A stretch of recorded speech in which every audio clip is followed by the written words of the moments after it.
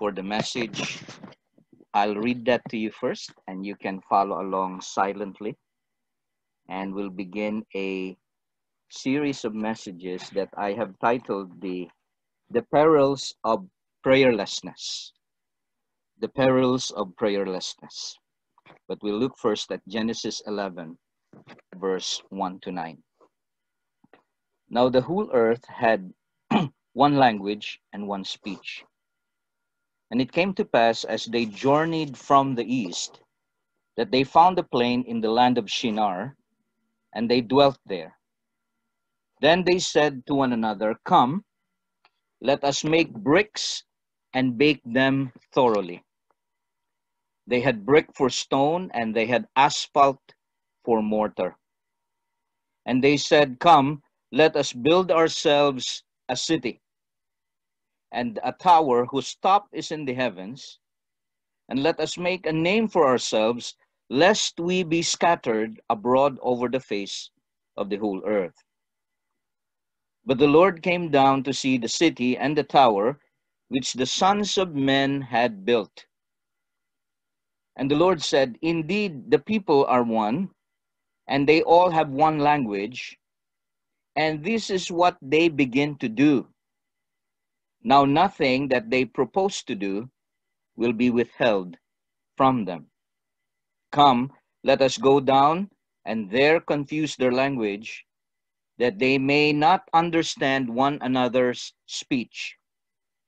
So the Lord scattered them abroad from there over the face of all the earth, and they ceased building the city. Therefore, its name is Babel because there the Lord confused the language of all the earth. And from there, the Lord scattered them abroad over the face of all the earth. This is God's word. Father, let your spirit be our teacher. Cover your servant with your glory. And let it be that Christ alone be magnified as we look to your word. In Jesus' name, amen uh, you've been hearing in the last few messages and you know even with pastor elburn's preaching as i said that prayer is the greater work right? And i would like to share to you some blessings that others have told me. One is that solomon malik for whom we've been praying has asked me to share that his papers has been approved right? So we thank the lord for that. Isle has also given me an update that you know, for many weeks now, we've been praying for power to change in University of Saskatchewan, right? Remember that school? They had been deratified as to their ministry in the campus. And Al was just telling me uh, through email that she said, you know, Pastor, the, the, the ratification of power to change has been reversed. And so they're even looking forward now that when they are able to do so in campus, that they would be able to conduct their usual ministries using the different facilities and buildings of, of the school. So God is working. Prayer is the greater work. Uh, today, we've just heard from Matthew, you know, when he heard about this Amber Alert, right? That's wonderful, right? He was saying it was resolved, the, the, the problem was solved. It's amazing that, you know, even through the simple things, that God is showing us that that's really true. Prayer is not just the preparation for the greater work, it is the greater work. I hope that as we are going through the book of Nehemiah in the times when I preach, that you are reading through the book of Nehemiah, and you will find this one thing as you look at, the, as, at Nehemiah, you will find that he was really engaging in the work of prayer just as much as he was actually doing the work of building the wall and many other challenges that he was facing. But anyway as we as we come here tonight i'd like to pick up on what we studied last week although you know as we said the title of this series of devotions until the end of the month is the perils of prayerlessness and we'll be looking at genesis 11 1 to 9 uh, for those perils. But we've been looking at the uh, I think uh, the title of last week's message was A Return to Eden, right? A theological brief on the origins of prayer. And so we learned about how prayer was a conversation with God. Since Adam and Eve were actually created, prayer was a privilege given to them by the Lord. Uh, we surmise that from what we gather from the facts in the Bible, that it was a constant thing that their hearts were expectantly looking for regularly, having this walks with the Lord in the beautiful garden of Eden and just enjoying his presence, pouring out their hearts to him and enjoying their conversations with him. And what a great encouragement for us. What a great picture that when we come to prayer, we're actually having a visit, if you if I may say, into the into Eden once again. A, a visit to heaven, a visit home as we enjoy the presence of God. Uh, I think there's really wisdom in in following the example of the Lord when he would rise up a great while before day and pray you know, or just before you go to work when it's still quiet in your home, perhaps, uh, just at that time when you can just have this quiet time to just be able to enjoy your conversation with the Lord. But all, we've also learned last week that corporate prayer also had its beginnings in the early days of the human race, particularly after the death of Seth's son Enosh, where the Bible says that men began to call upon the name uh, of the Lord. And so we, we find that, and I'll, I'll talk a little more about that uh, later. But as you go on through from Genesis uh, 2, 3, 4, and I, as, as you go on reading up to the time of Noah, here's an interesting thing that you will discover. As I was going through Genesis chapter 10, it's interesting to, to notice there that there is no mention of anyone calling upon the name of the Lord there is no mention of anyone walking with the Lord, as in the previous chapters of Genesis. There even seems to be no record of any kind of interaction with the Lord by people, as in, you know, interaction as in prayer, interaction as in worship, here in Genesis chapter 10. Here, the genealogy of the sons of Noah are given there's a commentary made on Nimrod, which we will talk about a little later. But the interesting thing that comes out from Genesis chapter 10, uh, you know, from that time and and even in chapter 10 and 11 in particular, is that you know there is no mention of anyone walking or calling upon the name of the Lord. In Genesis 2 and 3, Adam and Eve are walking with God. They're having those conversations with the Lord in Genesis chapter 4, you can take the time to study it later, there is even conversation between God and Cain. And in that same chapter, the beginnings of people who uh, people who feared and loved the Lord began praying corporately from the time of Seth when Enosh was born. In Genesis chapter 5, when the genealogy of Adam and even Cain's line is given, we, we read of Enoch who walked with God right? And who walked with the Lord as such that God took him to be with him. Enoch did not die physically, but as he was walking with the Lord one day, God just walked him home straight to heaven. That's what we read in Genesis chapter 5. In Genesis chapter 6, even in a world that's filled with violence and sin, there is still Noah who is mentioned here. Noah, it is said, walked with the Lord in Genesis 7 and 8, you know, the flood and after the flood, we, we read of Noah offering sacrifices to the Lord, perhaps leading his family in corporate prayer and worship to the Lord or of the Lord after their great deliverance from the great flood. In Genesis chapter 9, there are still indications that prayer was going on, that people were praying to God, for conversations with God were going on and even uh, even in Noah's pronouncement of blessing upon Ham and upon Ham and Japheth, and of course the the curse upon Ham is somehow indicative of prayer, as Noah invokes blessing upon his sons. Now, as we lay the foundation for this series of devotional messages on the prayers of prayerless, on the perils of prayerlessness, I want us to note these observations from Genesis 10, verse 8 to 13.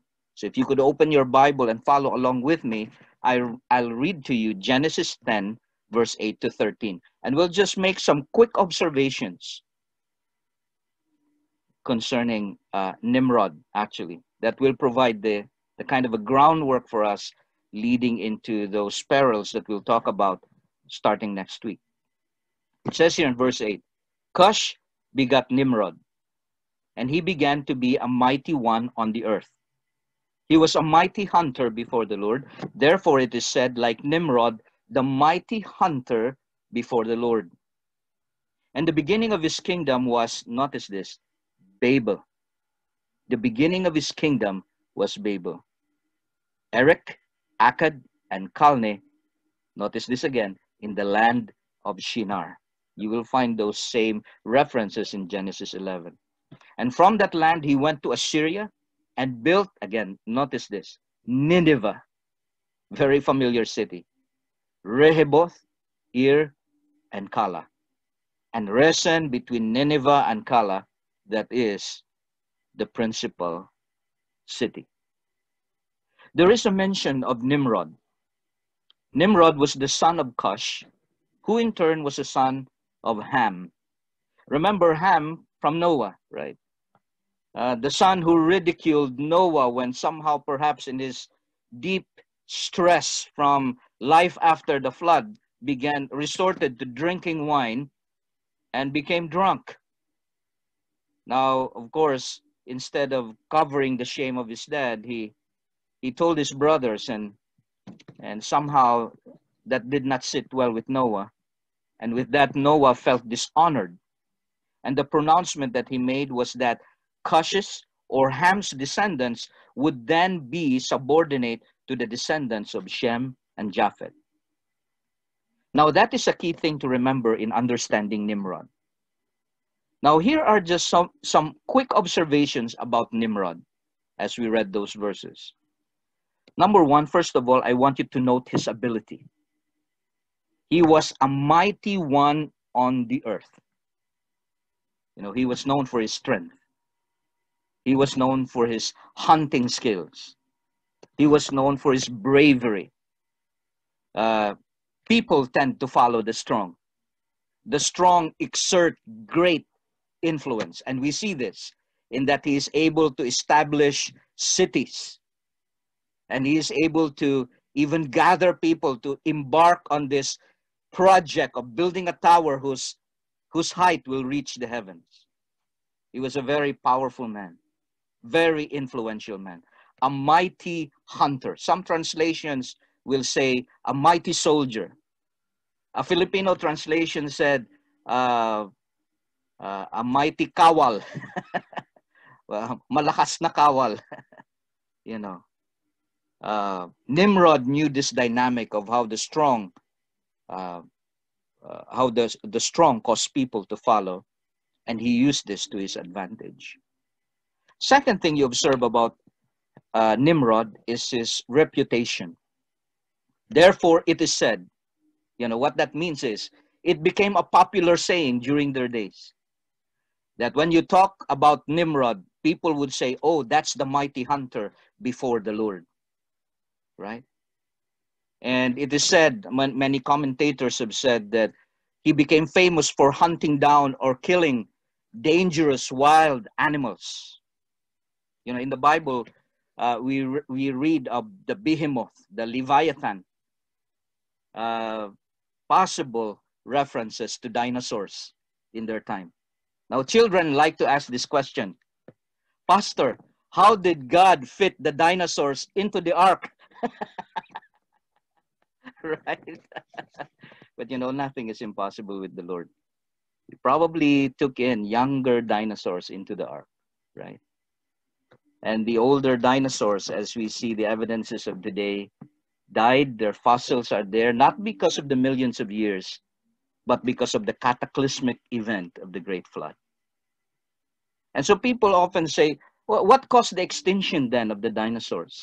Well, probably the change in the climate because of the Great Flood.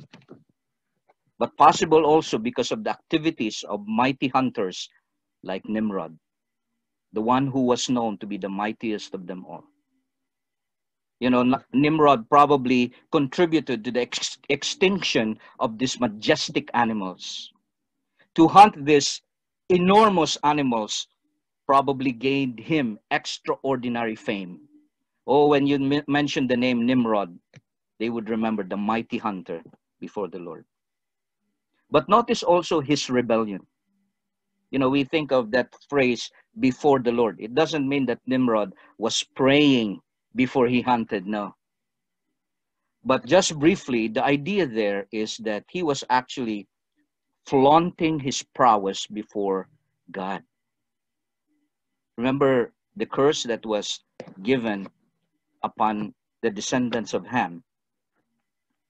You know, uh, you know uh, that would have been told to one generation after the other. Maybe this was Nimrod's way of saying, "Oh, the descendants of Ham will serve the descendants of Ham, of, of Shem and Japheth. I'll show you. I will show you." And so, look, it was like he was saying before the Lord, look, who's serving who now? the descendants of Ham serving? No. We're the most powerful people now on the earth.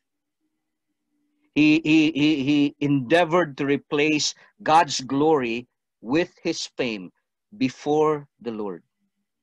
He put himself before God. So that when people look at him, they did not think of God who gave him his strength. They thought only of Nimrod.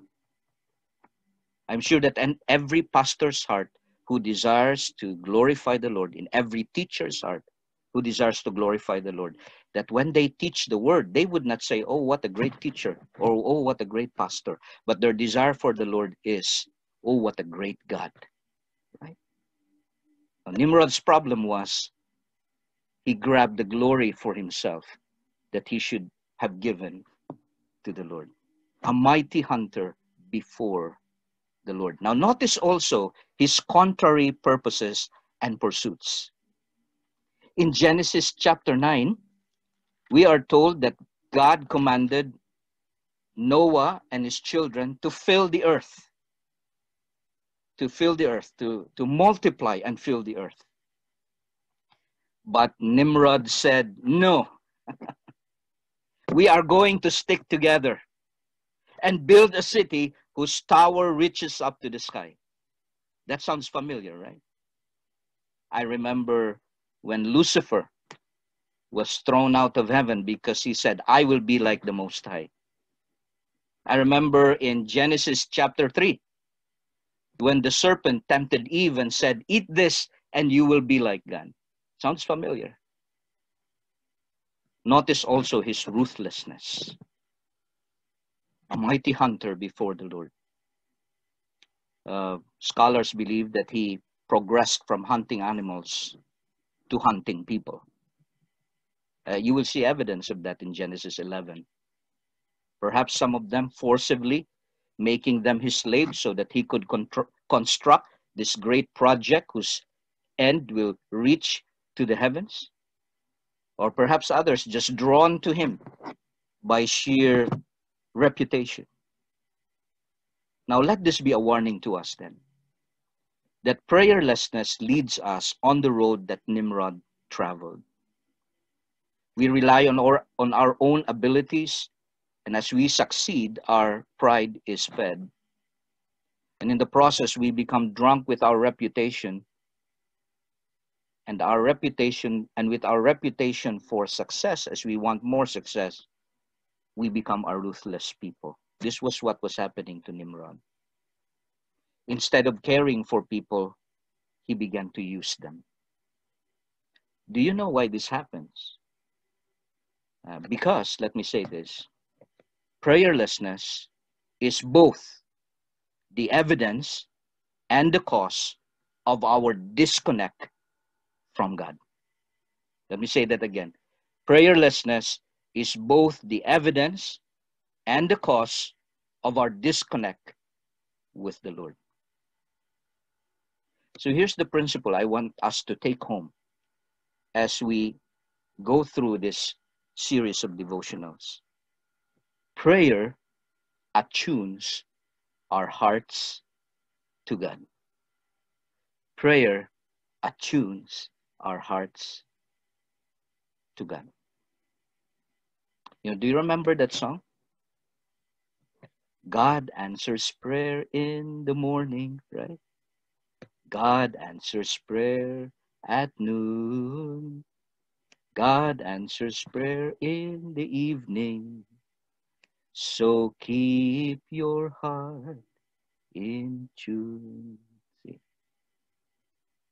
Prayerlessness is both the evidence and the cause of our disconnect with God. But prayer attunes our hearts to the Lord. Let's pray. Father, thank you for your word. Father, as we embark on this series, I pray that you will use every uh, part to bless the hearts of your people and to move us to pray. We continue to lift up to you, Lord, your children in CABC. We continue to pray that you will call more of us to pray together as a body. And we pray for those who are praying along with us, perhaps because there's, their schedules will not allow them to be here with us tonight. May you bless them, Father, and we thank you for their partnership in this great ministry of intercession and prayer. Father, we commit our time to you now. Bless us, Lord. And I pray that uh, we will truly remember as we pray tonight that prayer is the greater work. Thank you for the example of Christ. Let us follow, O Lord, in his steps. In Jesus' name, amen.